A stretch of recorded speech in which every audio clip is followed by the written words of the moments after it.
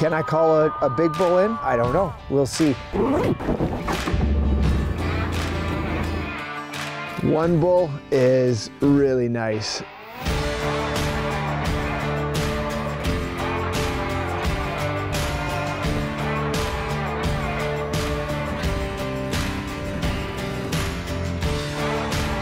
We've been tracking now for about six hours.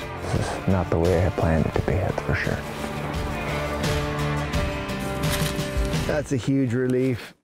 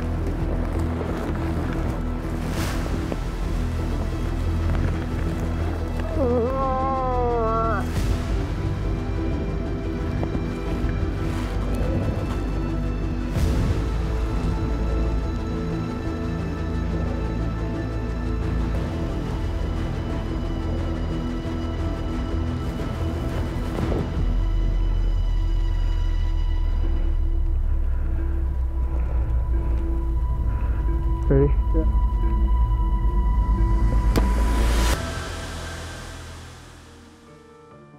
I don't know how much penetration I got.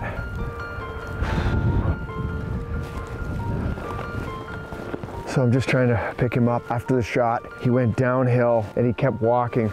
I felt that I didn't have amazing penetration. That was the first thing that I felt. The shot placement I felt was really good. So I came back up the hill instead of pushing, pushing, and I just caught a glimpse of him, you know, walking into that drainage. And I don't know, this is like worst part about hunting right now is the unknown, whether you've actually just wounded an animal or whether you've actually killed it. And just have to figure it out.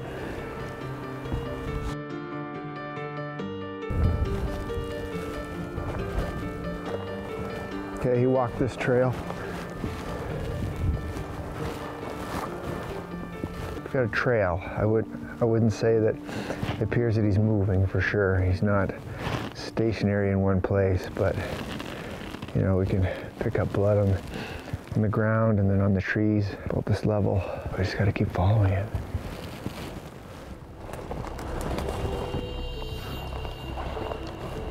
So this is the first really good sign that we've had. Been following a blood trail now for what over a kilometer, and it's taken us a number of hours. But he bedded down here and he's bleeding hard. That's a really good sign. I think that he's definitely mortally wounded, so it's just a matter of not pushing him. This is what we did. I think we pushed him out of this bed, and he got up and walked away. He must have just been hit a, a little bit too far back, or I don't know yet, but we will find out. We've been tracking now for about six hours and we're less than like a mile from where I took the shot. It's been a tough go as far as staying on the trail. You know, we saw some really good sign that, yeah, he's hit really good. and then it clots up and it's just sporadic and then you get into another good spot. I think that what we're doing is just by continuing to follow is not the best plan right now, especially with the daylight. We'll pick it up in the morning and uh, see how it goes. This is not the way I had planned it to be, that's for sure. Our worst case scenario just happened last night and has nothing to do with the temperature or the wind. This snow moving in from the north. Obviously, it's completely changed the game as far as what we thought we were going to do this morning. We thought we would just get right on the blood trail and probably follow it right to them. That's become a, a not so realistic option. It's really the options that we have are a grid pattern and cover the country. The other one is get up high and hopefully spot them. Uh, he was heading toward a drainage, and if he's hit hard as you know, I believe he is, he's really not going to go uphill. If he beds down, he's not going to get back up. Not after the cold night like this. Hopefully, we find him and uh, he's done.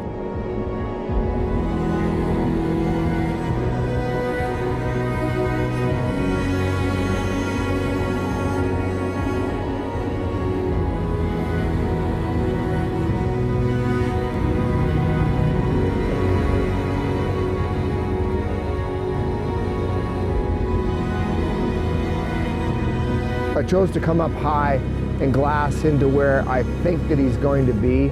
So we went up, got some elevation.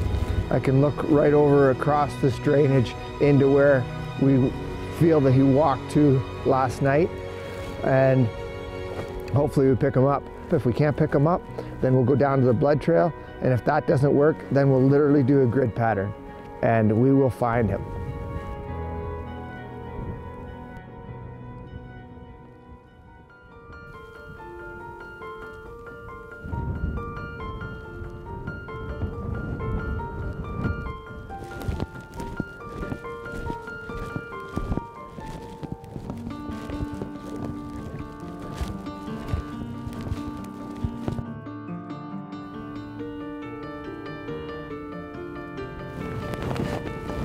He's straight across, he's in the open. His one pan is just right up in the air. You can see his body and everything. So he's laying there and he's dead. There's nothing worse than the feeling of taking an animal and not retrieving it. But there he is.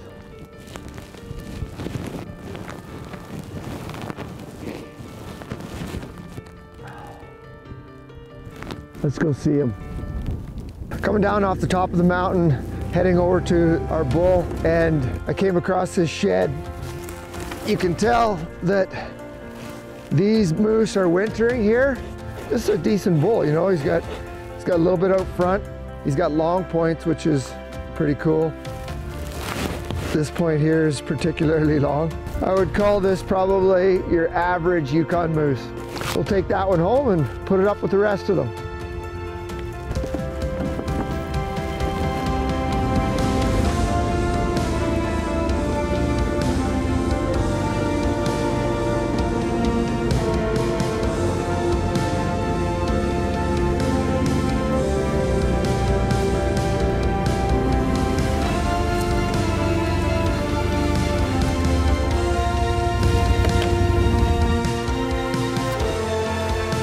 That's a huge relief. Ah.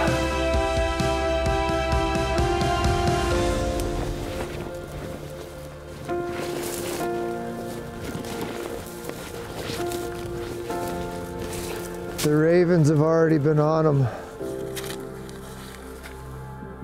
That is a big hole where that arrow went in. He's been dead for a while.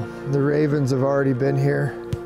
It's amazing to me how far they can actually go sometimes, you know, with an arrow in them like that. And he probably died pretty quick because for the ravens to be on him and for there to be that big of a hole in him, it's pretty wild. Last night was an extremely long night in the tent. At 4.30 in the morning when I saw how much snow had piled up, I didn't think that the snow was going to be a benefit, but it turns out that it was.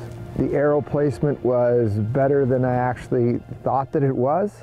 If you don't hit them 100% perfect, they can go fair ways, especially if you know they've got a strong will to live. If you don't quit and you keep putting in the effort, you know, the chances are that eventually you will find them. Certainly in, in our situation in the Yukon, when the temperatures are like this, you're not likely to, to lose any meat where I understand that other places are not like that. So we're extremely happy. We've got ourselves winter meat and we can pack up and head out with a smile on our face and knowing that we put in the effort that it took to, to retrieve this bull. It's been a fantastic hunt. It's been a roller coaster for sure. A lot of highs and a lot of lows, but hard work and the persistence paid off in the end. And winter is here and it's time for us to leave. So we need to make our way out of the high country and down into the timber and back to civilization. It's that time of year, late October, and hunting season is drawing to an end.